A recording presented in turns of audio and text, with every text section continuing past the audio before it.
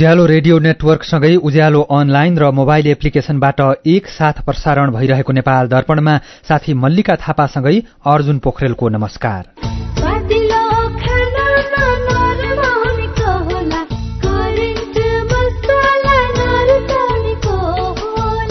नेपाल दर्पणको साथमा करेन्ट मसला र करेन्ट चिया। स्वादको झट्का। नेपाल दर्पण शुरू गरौं मुख्य मुख्य खबरका शीर्षकहरूबाट। सरकारको मुख्य प्राथमिकता र न्यूनतम साझा कार्यक्रम सार्वजनिक विस्तृत शान्ति सम्झौताका बाँकी काम सम्पन्न गर्ने सेवा प्रवाह चुस्त बनाउने र भ्रष्टाचारीलाई कड़ा कार्यवाहीको चेतावनी। परराष्ट्र सचिव सहितको प्रतिनिधि मण्डल र चिनिया विदेश मन्त्री काङ बीच बेजिङमा भेटवार्ता दुई देशबीचको सम्बन्ध र सहकार्य विकास तथा लगानीका विषयमा कुराकानी। धान मकै तथा लहरे तरकारी बाली र बर्खे फलफूल खेतीको लागि तयारी गर्ने समय शुरू माटोमा पोटासको मात्रा घट्दै गएकाले बढाउने उपाय अप्नाउन विज्ञको सुझाव। सधैँ युरिया मात्रै हालिरहन्थ्यो डिएपी मात्रै हाल्थ्यो भने अब त्यो खुर्सानी मललाई पनि अथवा म्युरेट अफ पोटासलाई पनि हामीले खेतबारीमा सँगसँगै राख्नु पर्यो चीनका राष्ट्रपति सी र फ्रान्सका राष्ट्रपति म्याक्रो बीच भेटवार्ता रूस युक्रेन युद्ध अन्त्यको लागि वातावरण बनाउन पहल गर्ने राष्ट्रपति सीको भनाई। र ए डिभिजन लीग फुटबलमा थ्री स्टारले आर्मीलाई हरायो। फिफा वरियतामा नेपालको एक स्थान सुधार छ वर्षपछि अर्जेन्टिना शीर्ष स्थानमा पुग्यो। सरकारी भुक्तानी अब एकै क्लिकमा। राहदानी शुल्क आन्तरिक राजस्व विभागका शुल्क तथा करहरू शिक्षक सेवा आयोगको भुक्तानी बेलबुक नवीकरण ट्राफिक जरिवाना लोक सेवा आयोगको भुक्तानी नगरपालिकाको कर एनओसी शुल्क लगायतका धेरै भुक्तानी अब ई सेवाबाट तिर्न सकिन्छ। आजै ई सेवा एप डाउनलोड गर्नुहोस् वा नजिकैको एजेन्टमा गई अनलाइन भुक्तानी गर्नुहोस्। ई सेवा सरल र सुरक्षित भुक्तानी।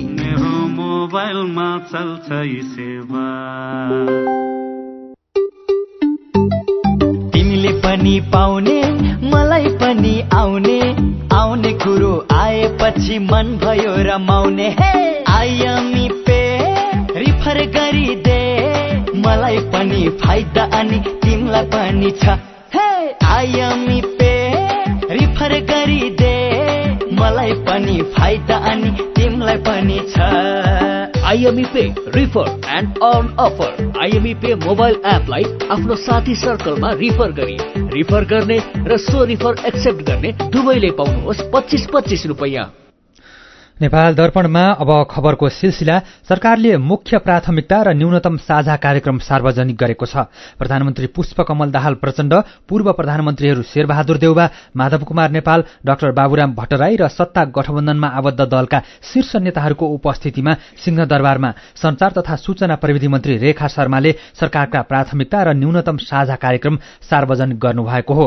दश दलीय सत्ता गठबन्धनको तर्फबाट तयार भएको संयुक्त सरकारका प्राथमिकता र नीति तथा कार्यक्रम सार्वजनिक भएको हो।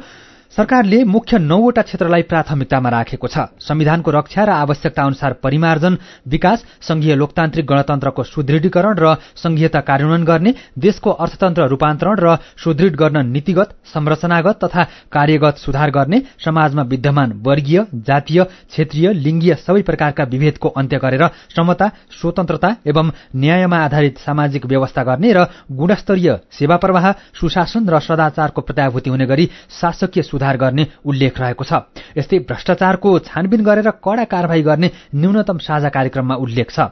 यस्तै शान्ति प्रक्रियालाई पूर्णता दिन विस्तृत शान्ति सम्झौताका बाँकी कार्यभार तथा विभिन्न पक्षहरूसँग भएका सहमतिको कार्यान्वयन गर्ने उत्पादनमुखी अर्थतन्त्र आपूर्ति व्यवस्थामा सुधार तथा समन्वयक वितरणको व्यवस्था गर्ने खर्च कटौती र प्रशासनिक झमेलाको अन्त्यको लागि सार्वजनिक प्रशासन चुस्त दुरुस्त बनाउने जलवायु परिवर्तन जैविक विविधतामा ह्रास र वातावरणीय प्रदूषण जस्ता विश्वव्यापी संकटले उत्पन्न गरेको जोखिम न्यूनीकरण गरी पर्यावरणीय सन्तुलन कायम गर्ने र राष्ट्रिय हितको रक्षा एवं नागरिकको समृद्धिको लागि स्वतन्त्र र सन्तुलित परराष्ट्र नीति अवलम्बन गर्ने विषयलाई सरकारले प्राथमिकतामा राखेको छ। सरकारका प्राथमिकता र न्यूनतम साझा कार्यक्रमको पूर्ण पाठ उज्यालो अनलाइन डट कममा पढ्न सकिन्छ। प्रधानमन्त्री पुष्पकमल दाहाल प्रचण्डले देशमा देखा परेको आर्थिक चुनौतीलाई सम्बोधन गर्ने गरी काम गर्न र पुँजीगत खर्च बढ़ाउन संघीय र प्रदेश सरकारका मन्त्रीहरूलाई निर्देशन दिनुभएको छ। प्रधानमन्त्री तथा मन्त्री परिषदको कार्यालयमा आज बसेको राष्ट्रिय विकास समस्या समाधान समितिको पचासौं बैठकलाई सम्बोधन गर्दै उहाँले पुँजीगत खर्चलाई तीव्रता दिन र कामको गुणस्तर कायम गर्नमा विशेष जोड़ दिनुभयो। अन्तर्त समन्वय गर्ने विषयमा आफूले पहल गर्ने जनाउँदै उहाँले बजेट कार्यान्वयनको सम्बन्ध सम्बन्धमा मन्त्रालय र प्रदेश सरकारसँग समेत छलफल गरी अर्थ मन्त्रालयले प्रगति राम्रा भएका विकास आयोजनामा साधन स्रोतको अभाव नहुने व्यवस्था मिलाउनु पर्ने बताउनुभयो। उहाँले विगत भन्दा नयाँ र गुणात्मक प्रकृतिको योजना निर्माण र बजेट व्यवस्थाका लागि आवश्यक तयारी गर्न समेत निर्देशन दिनुभयो। पुँजीगत खर्च बढाउने साधारण खर्च घटाउने र अर्थतन्त्रमा केही कुरा सकारात्मक छन् केही चुनौती छन् यसको समाधान गर्न पनि महत्वपूर्ण योगदान आजको छलफलले दिने विश्वास मैले दिएको छु। केही क्षेत्रमा प्रगति भएको देखिएको छ। तर समग्रमा हाम्रो विकास प्रयासले अपेक्षित लक्ष्य हासिल गर्न नसकेको र धेरै क्षेत्रमा सुधार आवश्यक रहेको तथ्य पनि उजागर भएको छ। यस आर्थिक वर्षको प्रथम छ महिनामा आशातीत लक्ष्य हासिल हुन नसकेको देखिएको छ। यो अत्यन्त संवेदनशील विषय पनि हो। यसैबीच नेकपा माओवादी केन्द्र निकट विभिन्न जनवर्गीय संगठनहरूले पहिचानका आधारमा प्रदेशको नामाकरण गर्नुपर्ने भन्दै प्रधानमन्त्री पुष्पकमल दाहाल प्रचण्ड समक्ष ज्ञापन पत्र पेश गरेका छन्। किराँती राष्ट्रिय मुक्ति मोर्चा नेपाल लिम्बुवान राष्ट्रिय मुक्ति मोर्चा र जातीय मुक्ति मोर्चाका पदाधिकारी सहितको प्रतिनिधि मण्डलले आज प्रचण्डलाई ज्ञापन पत्र बुझाएको हो। प्रदेश एकलाई कोशी नामाकरण गरेकोमा माओवादी केन्द्रले पनि अहिले विरोध गर्ने निर्णय गरेको छ। प्रदेशको नामाकरण कोशी भएपछि उत्पन्न परिस्थितिलाई तत्काल वार्ताबाट समाधान गर्न र आन्दोलनका क्रममा निधन भएका परिवारलाई क्षतिपूर्तिको व्यवस्था गर्न पनि ज्ञापन पत्रमा माग गरिएको छ। नेपाल चीन कूटनीतिक परामर्श संयन्त्रको बैठकमा सहभागी हुन बेजिङ पुगेको नेपाली टोलीले चीनका परराष्ट्र मन्त्री छिनकाङसँग भेटवार्ता गरेको छ। भेटमा दुई देशबीचको सम्बन्ध तथा सहकार्य भ्रमण आदान प्रदान पर्यटन विकास तथा लगानी लगायतका विषयमा कुराकानी भएको बेजिङको नेपाली दूतावासले जारी गरेको विज्ञप्तिमा उल्लेख गरिएको छ। परामर्श संयन्त्रको बैठकमा भाग लिन बेजिङ पुग्नुभएका परराष्ट्र सचिव भरतराज पौड्याल उत्तर पूर्वी एसिया महाशाखाका प्रमुख लोकबहादुर थापा सहितको टोलीले मन्त्री छिनकाङलाई भेटेको हो। भेटमा चिनिया परराष्ट्र मन्त्री काङले सन् दुई हजार उन्नाइसको अक्टोबरमा चिनिया राष्ट्रपति सी जिनपिङको नेपाल भ्रमणपछि दुई देशबीचको सम्बन्धमा गतिशीलता आएको बताउनुभयो। उहाँले भ्रमणका बेला भएका सहमतिहरू कार्यान्वयनका लागि चिनिया पक्ष अग्रसर भइरहेको पनि जानकारी दिनुभयो। भेटमा परराष्ट्र सचिव पौड्यालले चीनले नेपालको विकासमा निकै महत्वपूर्ण योगदान पुर्याएको स्मरण स्मरण गर्दै धन्यवाद दिनुभयो। यस्तै एक चीन नीतिप्रति नेपाल प्रतिबद्ध रहेको जनाउँदै नेपाली भूमि प्रयोग गरेर चीन विरोधी गतिविधि हुन नदिने विषयमा नेपाल सतर्क रहेको पनि सचिव पौड्यालले बताउनुभयो। नेपाल चीन कूटनीतिक परामर्श संयन्त्रको बैठक भोलि बिहान बस्दैछ। यसैबीच बेलायतले अफगानिस्तानको काबुलमा रहेका आफ्नो दूतावासमा सुरक्षा गार्डको रूपमा काम गरेका र अहिले लण्डनमा रहेका एघारजना नेपालीलाई तत्कालै स्वदेश फिर्ता नपठाउने भएको छ। तालिबानले काबुल कब्जा गरेपछि उद्धार गरेर बेलायत पुर्याइएका सुरक्षा गार्डको रूपमा कार्यरत नेपालीहरूलाई पक्राउ गरेर देश निकाला गर्ने प्रक्रिया अघि बढाएको बेलायतले तत्काल त्यसो नगर्ने बताएको बीबीसीले जनाएको छ। उनीहरूले बेलायतमा स्थायी रूपमा बसोबास गर्नको लागि आवेदन दिएको भए पनि बेलायतले देश नै निकाला गरेर नेपाल पठाउने बताएको थियो र त्यसका लागि आवश्यक कागज पत्र समेत तयार भइसकेको बीबीसीले उल्लेख गरेको छ। होटलमा बसेर काम गर्दै आएका केहीलाई छापा मारेर पक्राउ समेत गरिएको थियो तर बेलायतको गृह मन्त्रालयले उनीहरूलाई बेलायतबाट स्वदेश पठाउने तयारी अहिलेलाई रोकिएको जानकारी दिएको छ।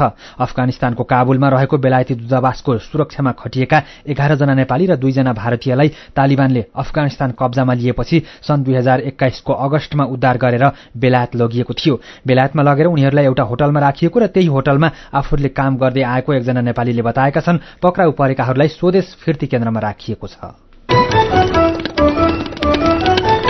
रामेछापको मन्थली नगरपालिका सातको कौछिनी मगर गाउँ नजिक भएको जीव दुर्घटनामा चारजनाको ज्यान गएको छ। जीव दुर्घटनामा परि मन्थली नगरपालिका सातकी बयासी वर्षीय नन्दमाया भण्डारी र पचपन्न वर्षकी ज्ञानदानी तामाङ अडसठी वर्षका जेनसुन तामाङ र सुनापति गाउँपालिका एक गुन्सेकी आठ वर्षीय लाक्पा घिसिङको घटनास्थलमै ज्यान गएको प्रहरीले जनाएको छ।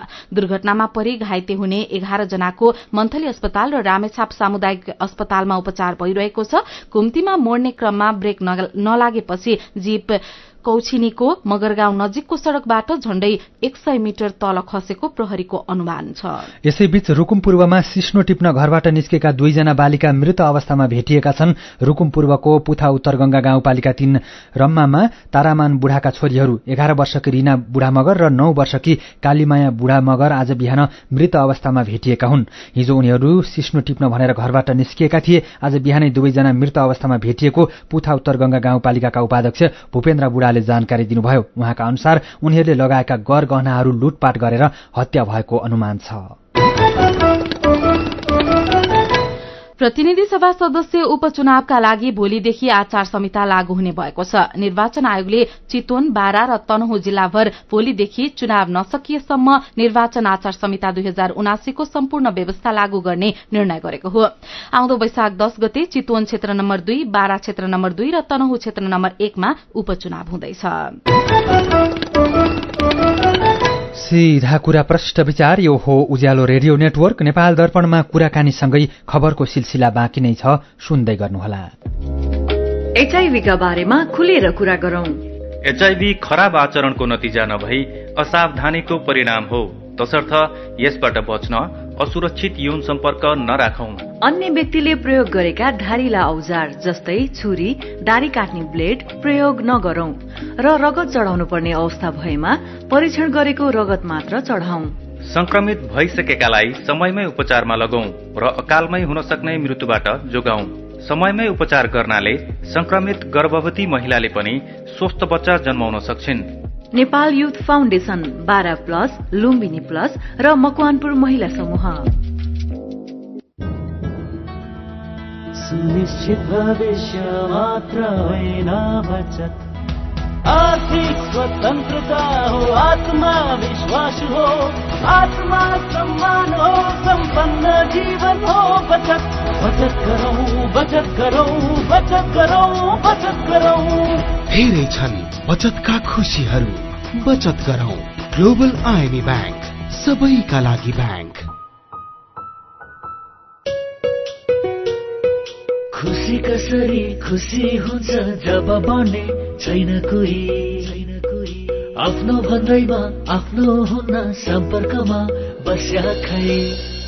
सम्पर्कका लागि बलियो आधार नेपाल टेलिकम हो राष्ट्रकै सञ्चार।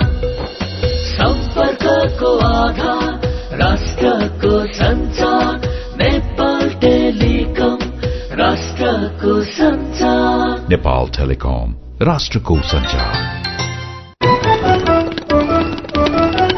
उज्यालो रेडियो नेटवर्कबाट प्रसारण भइरहेको नेपाल दर्पणमा तपाईँलाई फेरि स्वागत छ। यतिन्जेल हामीले सरकारका मुख्य प्राथमिकता र न्यूनतम साझा कार्यक्रम सार्वजनिक परराष्ट्र सचिव सहितको प्रतिनिधि मण्डल र चिनिया विदेश मन्त्री काङ बीच बेजिङमा भेटवार्ता लगायतका खबर प्रस्तुत गर्यौं।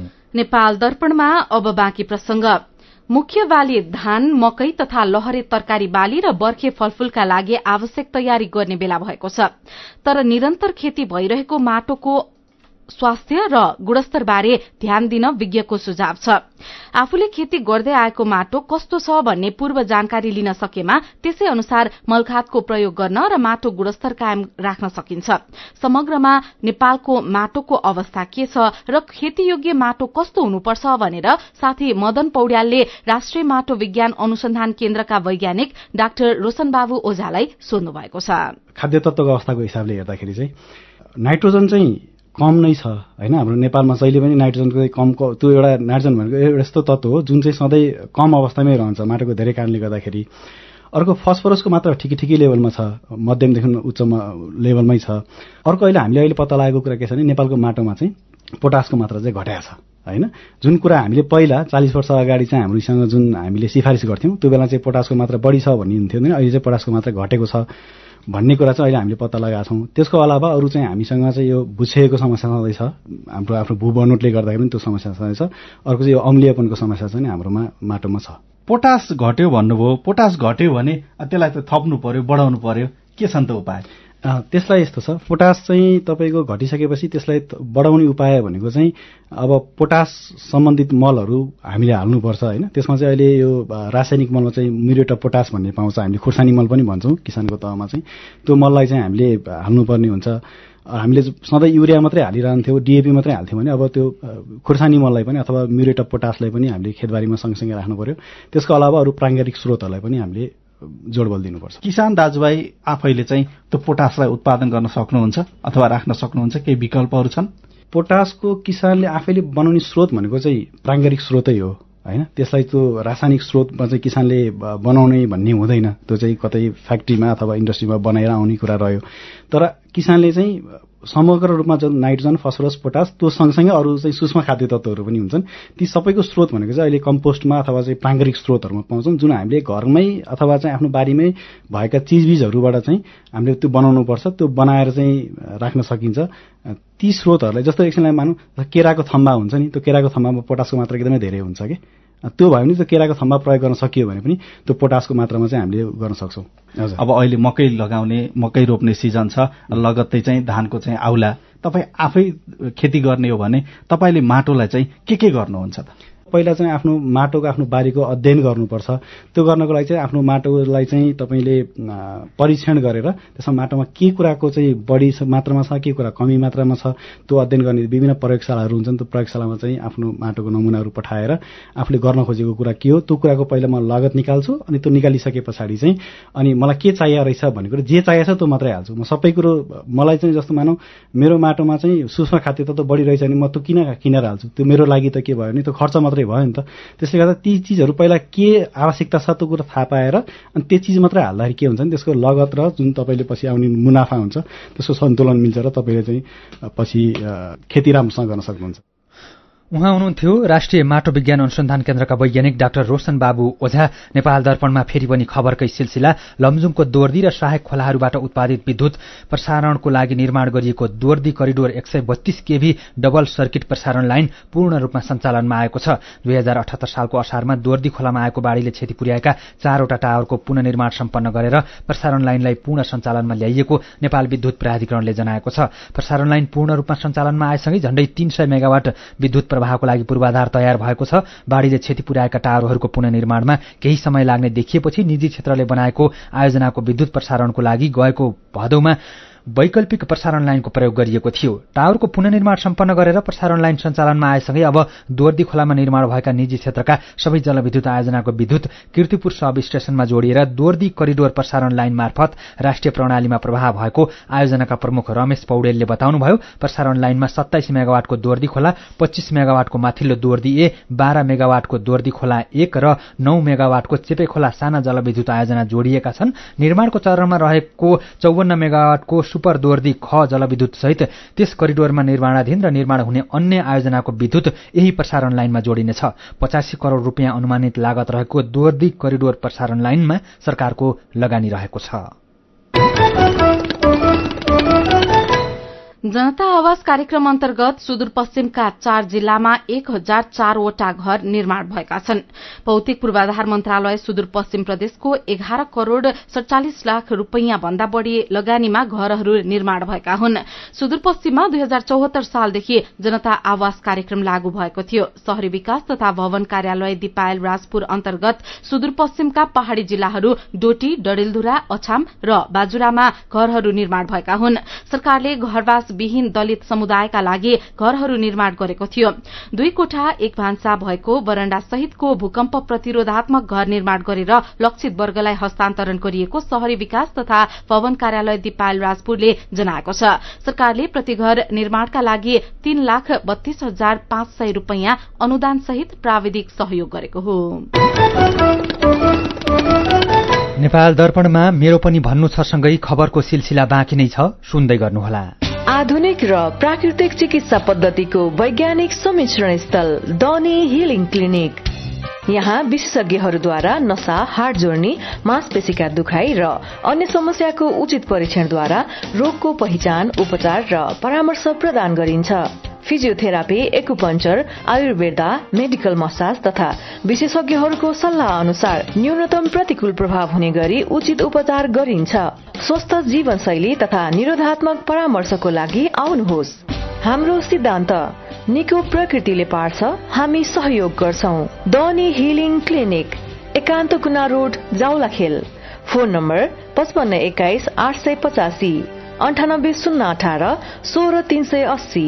वेबसाइट डिइएनआइएचइएलआइएनजी डट कम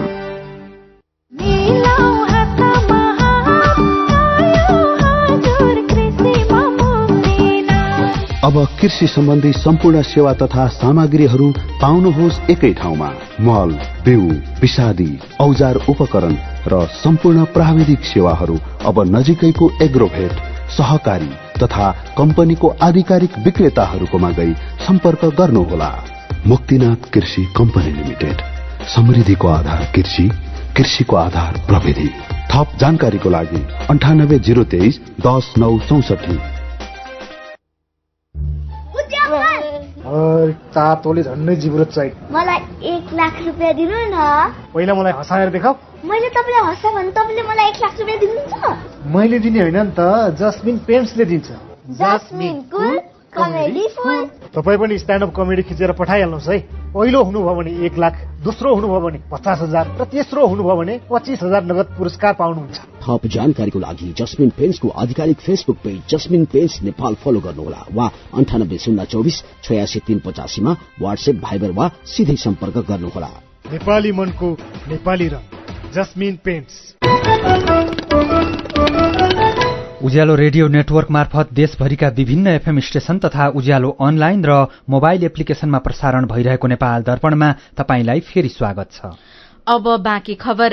हिजो सामान्य बढ़ेको शेयर बजार आज फेरि घटेको छ। शेयर बजार परिसूचक नेप्से आज आठ दशमलव दुई आठ अंकले घटेर एक हजार आठ सय छैसठी दशमलव सात नौ बिन्दुमा झरेको छ। बैंक र निर्जीवन बीमा समूहको शेयर सामान्य बढ़े पनि अरू समूहको शेयर घटेको छ। दुई सय उनासत्तरीवटा कम्पनीका अठाइस लाख सत्तरी हजार किता शेयर बयानब्बे करोड़ छ लाख रूपियाँमा कारोबार भएका छन्। पछिल्लो चौबिस घण्टामा देशभर पचासी जनामा कोरोना भाइरसको संक्रमण पुष्टि भएको छ। पीसीआर र एन्टिजेन गरी एक हजार चार सय दुई जनाको नमूना परीक्षण गर्दा पचासी जनामा संक्रमण देखिएको स्वास्थ्य तथा जनसंख्या मन्त्रालयले जनाएको छ।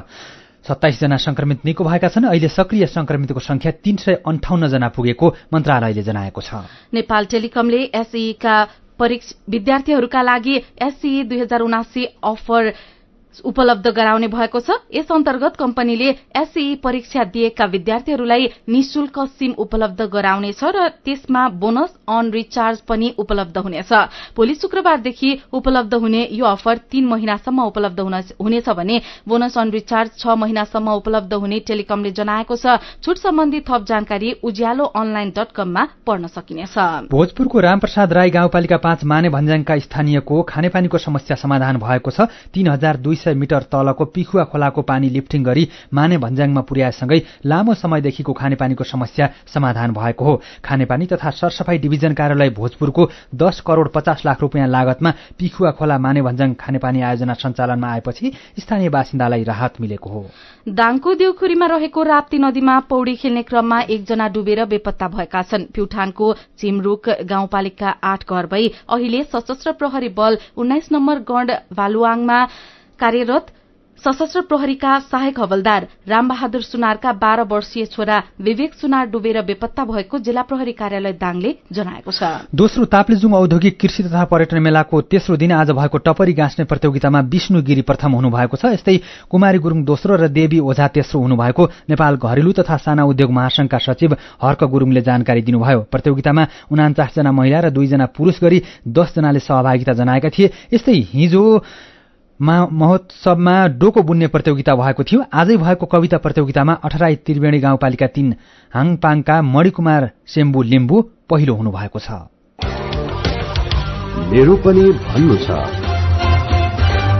देव सजन सुनारले भन्नुभएको छ देशमा समृद्धि ल्याउन खासै केही गर्न पर्दैन। ट्राफिक जाम भ्रष्टाचार नियन्त्रण भएको कानूनको समय सापेक्ष संशोधन र सदुपयोग गरे पुग्छ। तर यो काम गर्नुको साटो नेताहरू नेपाललाई स्विजरल्याण्ड बनाउँछु भन्दै भाषण मात्रै गर्छन्। अनि कहाँबाट हुन्छ देश विकास? ताप्लेजुङमा डोको बुन्ने प्रतियोगितामा फोङलिङका लक्ष्मण गुरूङ प्रथम हुनुभएको खबरमा गम्भीर दुवाडीले लेख्नु भएको छ अति नै चित्त बुझ्दो प्रतियोगिता रहेछ।